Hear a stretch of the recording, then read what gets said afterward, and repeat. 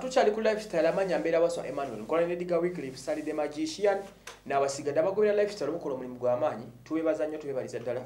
Abagula producer ffe mwebale abansinkana eri ku waswa emmanuel facebook page uh, ne mlikinga ate n'abazimbisi aba- abagenda mu roses nebazimbira amayumba nabo mukola omulimu.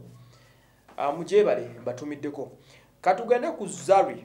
Zari ono ayongera okulaga ensi ti mu nsi muno talina kyeyeguya uh, talina kyeyejjusa talina kyamiisinga mu bulamu bwansi eno uh, buli kintu ewuwe kiri mulaala oluvannyuma lwakavidiyo ke yakoze n'akasaasanya n'akalaga abantu ne bamubuuza ku nsi kiki n'agamba am young am rich am beautiful i have everything and indeed abantu amukalonda abaye abawa n'omukono gumu.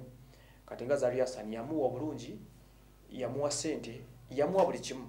Era yagamba nti yajjusa mu bulamu bwe kubeera nga talina musajja. Mm -mm. because she has the money. Nebwankubadde zonna basajja bazi bazikola nga uh, semwanga omugenzi sakone diamond bakoze nga bamuteekawo okuba n'ensimbi. So uh, indeed shes blessed. Obulungi abulina tosobola buwakanya kulolinga out. Sente weeri si mukadde nnyo wankubadde agamba akyali muto but at age of 40 eh, akyali akyali sente akiyagala. Era agamba nti teyejjusa. Talina kyabanja katonda talina kyamusaba kirala.